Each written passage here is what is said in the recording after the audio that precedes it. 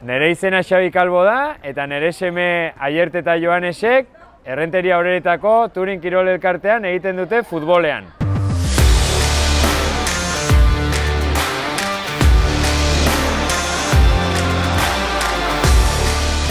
Aixialdiko jarduerak euskeraz egiteak euskararekiko harremanak hobetzen laguntzen du eta gehiago erabiltzeko segurtasuna ematen du.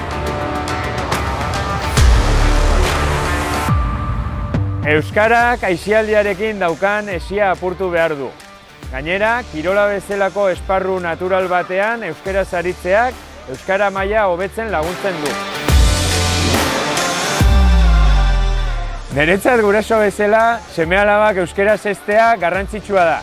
Eta isialdia horretarako esparru ezin hobea iruditzen zait. Euskaraz egiten dugu entrenamentuetan beti eta geroz eta gustorago egiten dugu.